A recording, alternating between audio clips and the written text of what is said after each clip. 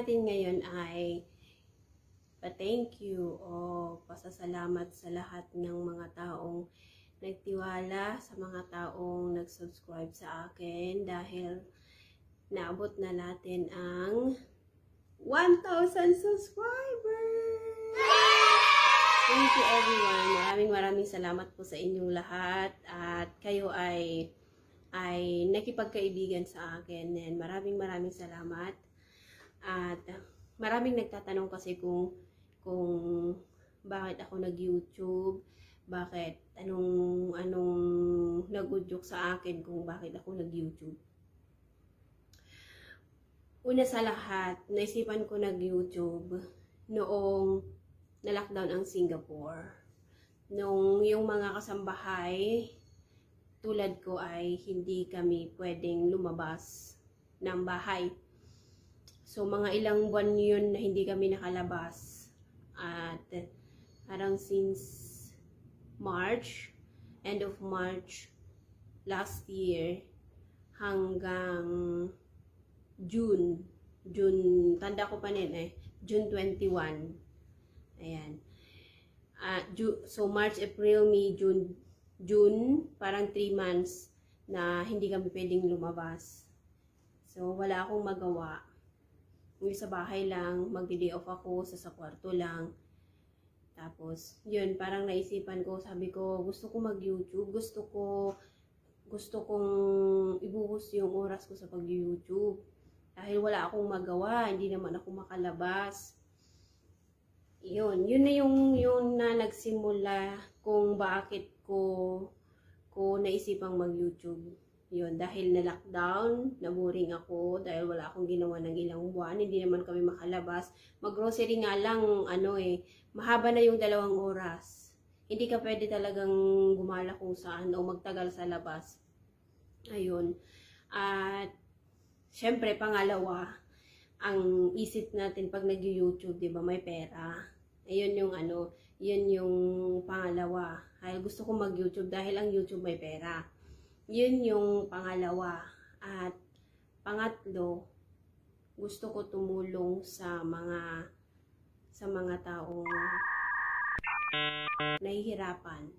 Eh, syempre, mahirap din kami, pero may mga tao dyan na walang bahay, na mamalimos lang sa labas. Gusto kong tumulong kung ano yung yung nakikita natin sa mga isang isang vlogger, sa mga nagvo-vlog na tumutulong sila. Ganun yung gusto kong gawin. Sana kung okay yung yung yung buhay natin dito sa sa pag-YT, yun yung gusto ko. Gusto kong tumulong. Ayan. Alam niyo ba, ito kwento ko. Nung bago ako bumal nag-abroad ulit, nung sa amo ko na to, nung nag-ano ako ng papeles ko sa sa ano sa Manila punta ako ng agency and magpidus ako ganun tapos may kasabay akong ano may kasabay akong tatay sa bus tapos yung yung tatay na matanda na mga 70 plus na yun tapos alam mo na yung bag niya parang lumang-luman na tapos nagtanong siya sa akin sabi niya sa akin ano magkano ba daw ang pamasahe papuntang Abra? Eh, La Union ako. Madaso madadaanan niya yung amin. Sabi ko, tay, hindi ko alam. Tanong na lang natin sa ano, sa konduktor. Tapos, yun, tinanong ko yung doktor kung magkano. Para hindi ko natanda, parang 400 plus yata o 500 plus. Parang ganon yung pamasahe. Tapos yung pera niya nakita ko.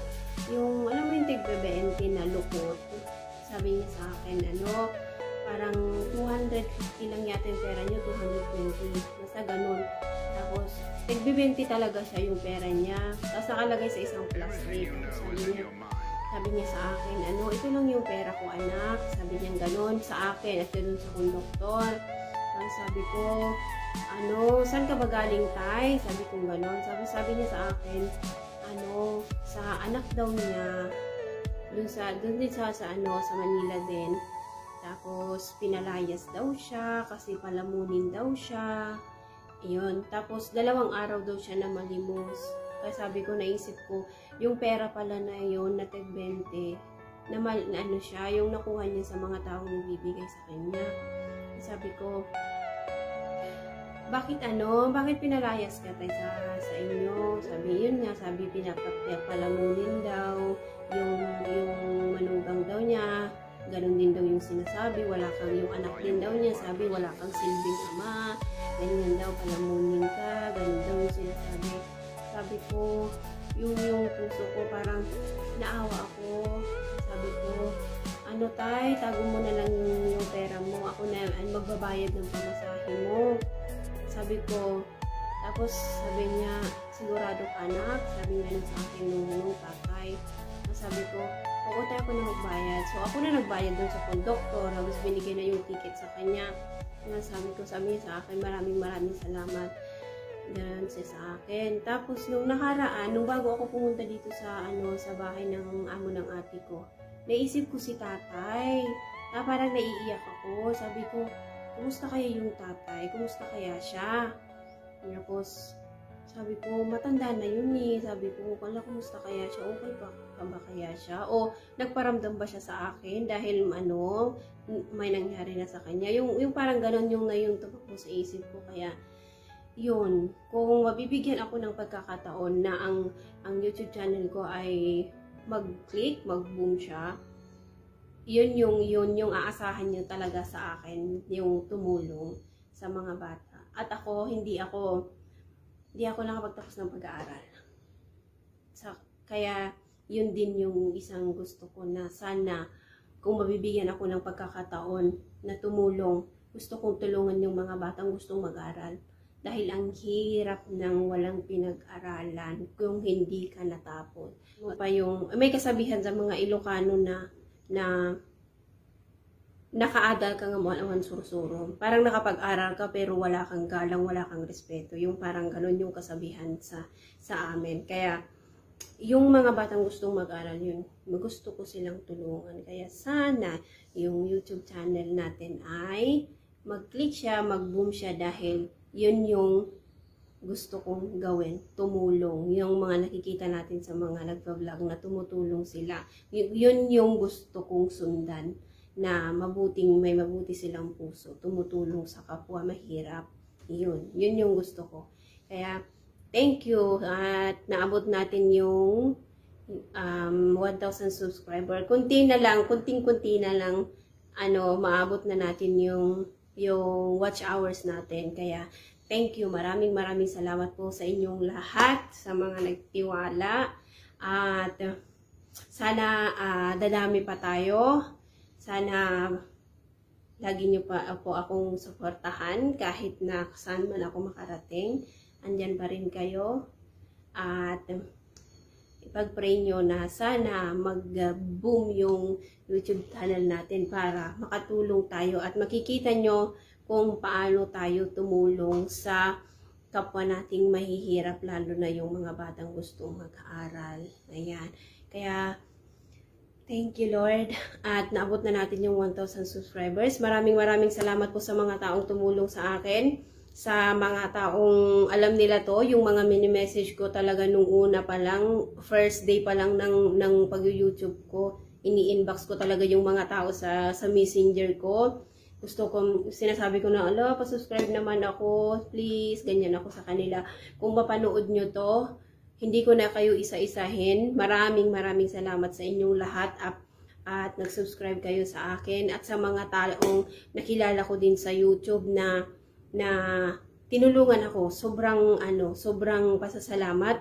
I'm very happy, grateful and thankful na na andyan silang tumulong sa akin sa inyong lahat pero parang sila kasi yung parang sobra, sobra, sobra yung naitulong sa akin.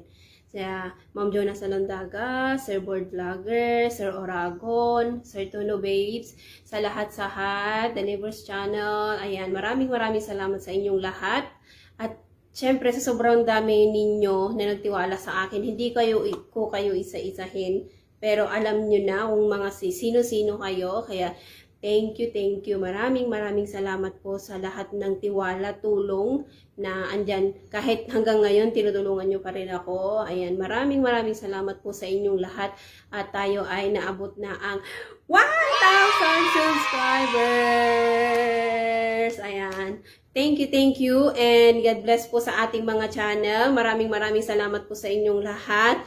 At sana magtulungan pa rin tayo hanggang sa dulo. Ayan. Maraming maraming salamat po sa inyong lahat. Tatanawin kong utang na loob ko sa inyo at pasasalamat, sobrang pasasalamat po sa inyong lahat na, na andyan para sa akin.